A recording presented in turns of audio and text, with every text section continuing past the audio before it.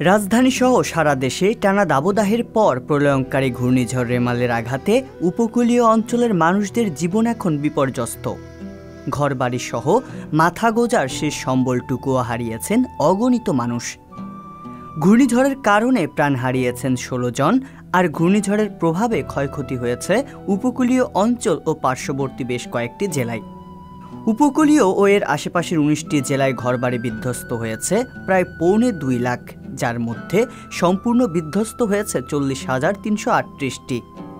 রেমালের প্রভাবে সবচেয়ে বেশি ক্ষতির সম্মুখীন হয়েছে খুলনা জেলা। এই জেলায় বিশ হাজার সাতশো বাষট্টিটি ঘরবাড়ি পুরোপুরি বিধ্বস্ত হয়েছে। পাশের জেলা বাগেরহাটে বিধ্বস্ত হয়েছে অন্তত দশ হাজার ঘরবাড়ি। এর বাইরে কম বেশি ক্ষয়ক্ষতি হয়েছে অন্যান্য জেলাগুলোতে।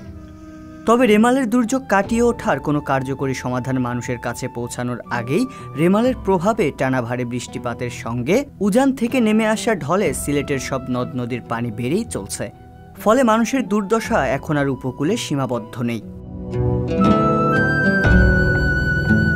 প্রতি বছরই উজান থেকে নেমে আসা ঢল কিংবা অতিবৃষ্টিপাতের কারণে সিলেট জেলার প্রায় সবগুলো নদীর পানি বিপদসীমা অতিক্রম করে। এ বছরেও তার ব্যতিক্রম ঘটেনি।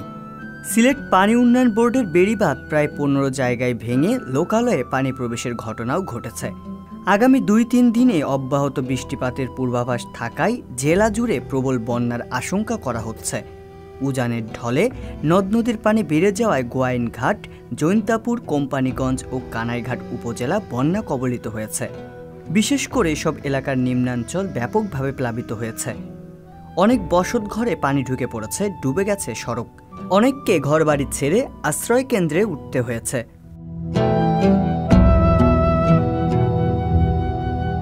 রেমালের প্রভাবে সৃষ্ট টানা বৃষ্টিপাতেই সিলেট জেলার অধিকাংশ মানুষের এখন রুদ্ধশ্বাস অবস্থা। এরই মাঝে চাঞ্চল্যকার খবর জানিয়েছে আবহাওয়া অফিস।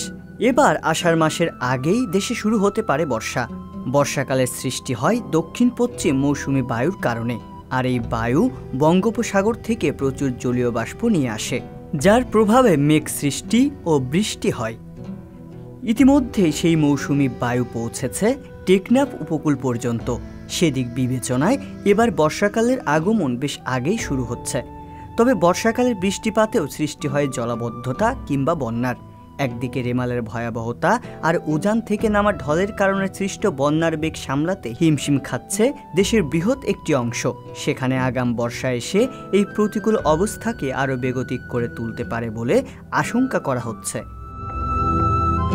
রিয়াজুল ইসলাম, সংবাদ প্রকাশ। সংবাদ, ফিচার ও অনুষ্ঠানের জন্য ভিজিট করুন সংবাদ প্রকাশের ওয়েবসাইট এবং যুক্ত থাকুন ফেসবুক পেজ ও ইউটিউব চ্যানেলের সঙ্গে।